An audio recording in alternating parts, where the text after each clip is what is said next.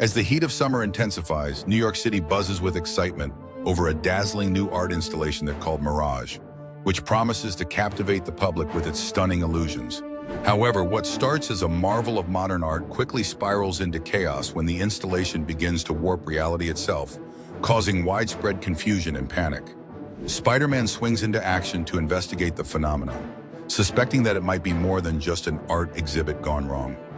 His instincts prove correct when he discovers that the mastermind behind Mirage is none other than a new villain named Illusio, who uses advanced technology to manipulate the minds of those who view his work. Peter Parker finds himself in a race against time as Illusio's power grows, threatening to blur the lines between illusion and reality. With Gwen Stacy's help, Peter delves into the world of art and technology to understand the mechanics behind Illusio's device seeking a way to counteract its effects. In a thrilling showdown at the heart of the art installation, Spider-Man confronts Illusio amidst a shifting landscape of surreal illusions.